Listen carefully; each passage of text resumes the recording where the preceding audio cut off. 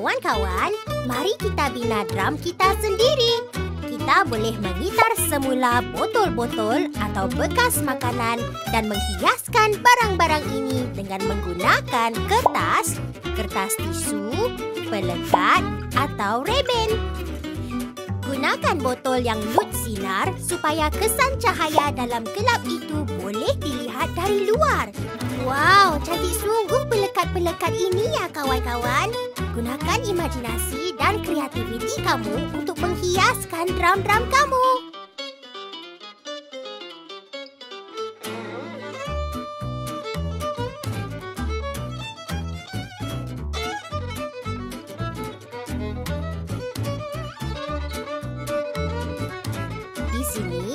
Fifi menggunakan serbuk bercahaya dalam gelap atau glow in the dark dan menuangkan air untuk membuat cecair yang akan bercahaya dalam gelap.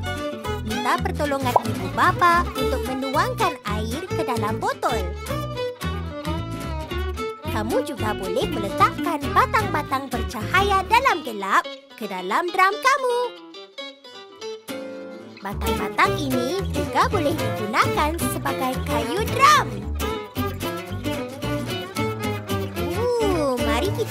Drum kami.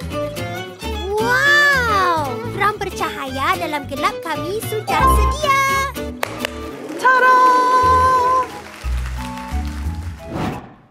Hey friends and parents, if you enjoyed this video, we have a ton of fun and educational videos and worksheets waiting for you at katfifiandmimi.com. Dive into STEM and bilingual learning with us.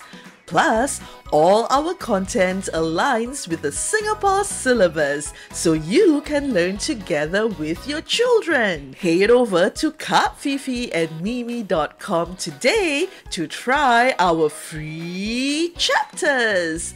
Bye bye. Jumpa lagi.